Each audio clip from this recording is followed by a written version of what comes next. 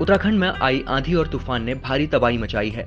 आम लीची की फ़सल के साथ साथ यह सीज़न बारात का भी है। लिहाजा बारातों में भी भारी नुकसान हुआ है।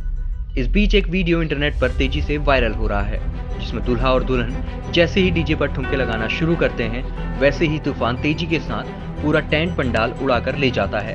यही नहीं, डीजे का सेटअप वहाँ मौजूद दूल्हा और दुल्हन के साथ अन्य लोगों पर भी गिर जाता है।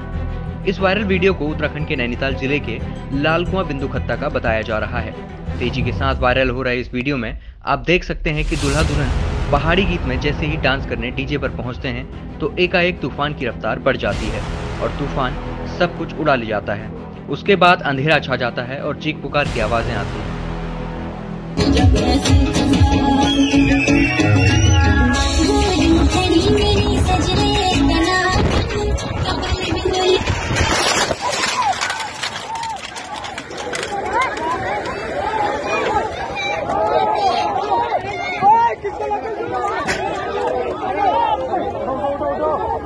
Thank